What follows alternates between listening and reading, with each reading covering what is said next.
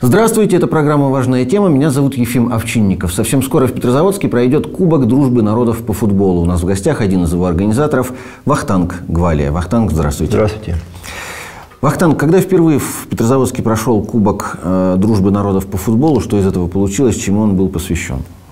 Здравствуйте, уважаемые телезрители. Э, в первый раз Кубок дружбы народов мы провели в 2014 году, а точнее говоря, мы его возродили, так как он раньше, лет 10-15 назад у нас на территории Республики Карелия проводился. Э, в 2014 году мы его посвятили памяти Ланы Мадивовны Мигуновой, министра по национальной политике. Э, получилось очень зрелищное мероприятие, интересное. В нем приняли участие 10 команд, представляющих национальное общество Республики Карелия города Петрозаводска. Вот, он до достаточно в дружеской обстановке прошел, то есть турнир показал э, то, что люди, независимо от своих национальностей и вероисповеданий, могут очень дружно как бы существовать как э, на одном футбольном поле, независимо от того, что футбол это очень жесткая игра, так и как бы на э, территории Республики Карелия. А представители какой национальности, если можно так говорить, не обижая, естественно, других, лучше играют в футбол? Там финны, карелы, казахи, поляки, кто лучше играет ну, однозначно сказать нельзя, а кто лучше всего играет. Э, каждый из них старается, естественно, играть, представлять свою национальную сборную. Ну, могу только сказать, что в прошлом году первое место завоевало э, национальное общество Армении. Это команда «Арарат». В общей сложности сколько национальностей побывали на одном поле? 10 национальностей, э, которые принимали участие э, и разыгрывали между собой э, кубок победителя. А в этом году, я так понимаю, мероприятие выходит за рамки Карелии, к нам приедут из других регионов России. Откуда будут гости? Да, действительно, в этом году у нас турнир уже вышел за рамки региона, то есть он уже стал межрегиональным. К нам приедут пять команд из Санкт-Петербурга, представляющих национальное общество Санкт-Петербурга и, соответственно, 11 команд, э, представляющих Национальное общество Республики Карелия. Э, вот этим турнир, конечно, необычен. У нас очень много новизны. Э. Давай по программе сразу mm-hmm. пройдемся. Я, она не очень большая, можно mm-hmm. озвучить ее. Что в программе турнира у вас? Так, в программе турнира у нас 13 мая пройдет жеребьевка команд. Команды будут делиться на 4 группы. У нас есть несеянные группы, это то есть те команды, которые в 2014 году заняли первые 4 места. То есть они будут возглавлять турнирную таблицу в каждой своей группе. 15 э, мая, так как у нас э, Кубок Дружбы Народа 2015 года посвящен 70-летию Великой Победы, э, пройдет концерт в честь ветеранов, то есть там будут приглашены ветераны. И сам турнир начнется 16 мая в 10.30 утра. Игры официально открытие в 2 часа. Турнир будет проводиться на стадионе «Спартак». Вход бесплатный, поэтому всех желающих гостей города, жителей города ждем как бы посмотреть на интересные, захватывающие э, футбольные матчи. Если у вас э, вся эта информация на сайте, человек посмотрит телевизор, куда ему зайти, ознакомиться подробнее? Да, мы запустили сайт, э, называется дружбакап.ру, то есть вся информация о турнире, Э, вся информация о турнире, который проводился в прошлом году, на сайте присутствует, э, и поэтому любой желающий может зайти на сайт, посмотреть, ознакомиться э, с программой турнира и о том, какие команды там будут принимать участие.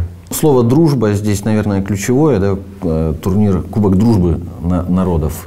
Но футбол все-таки жесткая игра. Не боишься ли ты, что как раз народы могут поссориться на поле?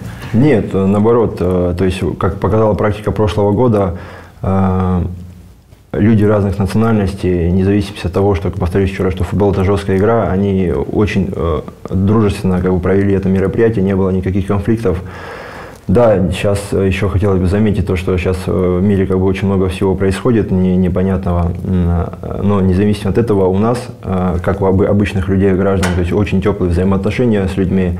К тому же нашими девизами Кубка дружбы народов является «Победа одна на всех», так как он посвящен 70-летию Великой Победы многонационального народа.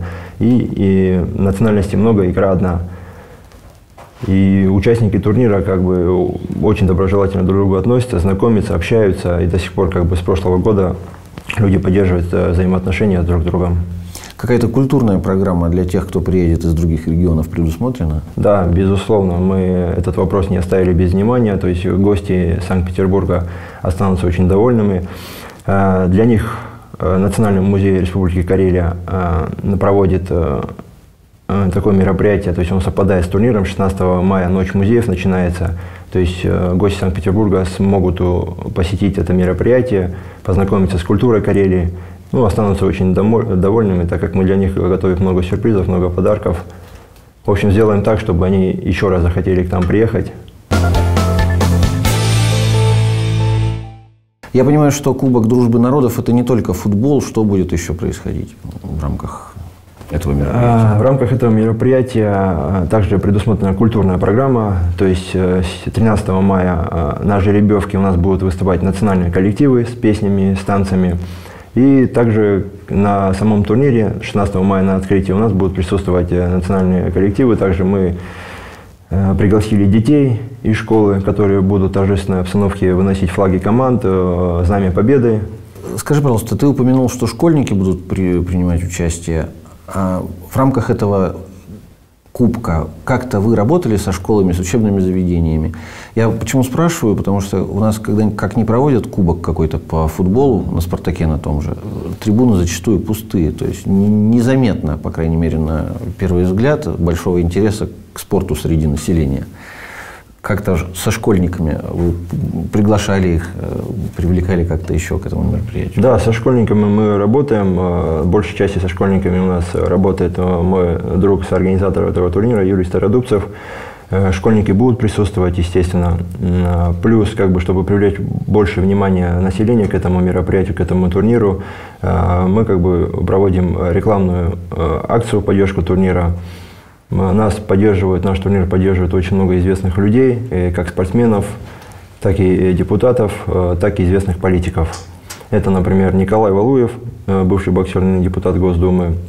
Это Алексей Смертин, Э, и недавно к нам вот приезжавший, это э, Рашид Гумарович Нургалиев, который поддержал наш турнир всецело и выразил как бы благодарность, что мы проводим такое мероприятие, укрепляющее межнациональные отношения на территории Республики Карелия. Ты назвал такие громкие имена, они приедут поздравить победителей или нет? Валуев, например? К сожалению, скорее всего, приехать не смогут, но во всяком случае мы передали официальное приглашение Рашиду Гумаровичу Нургалиеву. Если он э, найдет время в своем графике, то, я думаю, посетит, но это уже как бы зависит э, от него.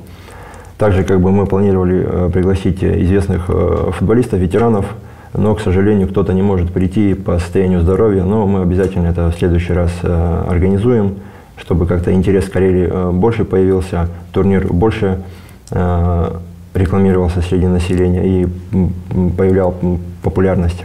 Угу. Какие-то почетные гости, тем не менее, будут на турнире? Да, почетные, конечно, гости будут. А, в этом ключе хотела бы сказать, что э, этого турнира, скорее всего, не было бы, если бы нас не поддерживали э, это как правительство Республики Карелия, администрация Петрозаводского городского округа, это и Центр национальных культур, который как раз проводит культурные мероприятия. Э, это и председатели национальных обществ, э, которые всецело принимают участие в организации этого турнира, а также бизнесмены, предприниматели, которые откликиваются э, на наши просьбы как бы, о помощи и помогают нам, являются нашими партнерами. И официальные лица это будут вот, правительство и администрация Петрозаводского городского округа. Люди разных национальностей обычно любят хвастаться своей кухней. Будете ли вы чем-то особенным кормить гостей Карелии из других регионов? Мы для гостей Санкт-Петербурга подготовили э, ужин, то есть они приедут 16 числа с, э, с утра, э, соответственно, будут уставшие после игры, как бы вечером у нас будет такой дружеский ужин, то есть в котором будут присутствовать также и Национальное общество Республики Карелия, и гости из Санкт-Петербурга. И, естественно, там будет присутствовать карельская кухня, чтобы они поближе как бы познакомились всецело с Карелией. Что это такое, так как они первый раз сюда приезжают, то есть и наша задача как бы им показать, э, показать, рассказать о Карелии э, максимально э, больше, ну, максимально больше информации им дать о Карелии, чтобы они, у них осталось желание еще приезжать и приезжать сюда. Что ждет победителей? Какие награды, какие призы? Ну, немножко откроем завесу в этом вопросе. Победителя ждет, ему будет вручен кубок. Кубок он эксклюзивный, Сейчас а, не буду раскрывать как бы все секреты, мы сами его ждем, сами его как бы даже не видели. То есть это очень весомый э, и достойный подарок. Также как бы участники получат подарки от наших партнеров. Э, у нас есть там свои номинации, да, это лучший игрок в каждой команде, лучший игрок турнира, э, лучший вратарь. Но наши партнеры изъявили свое желание, и они как бы придумывают свои номинации.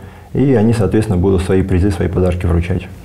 Хорошо, давай э, в конце программы напомним еще раз. Главный день э, Кубка Дружбы Народов. Во сколько, куда приходить? Кубок Дружбы Народов стартует 16 мая в 10 часов 30 минут.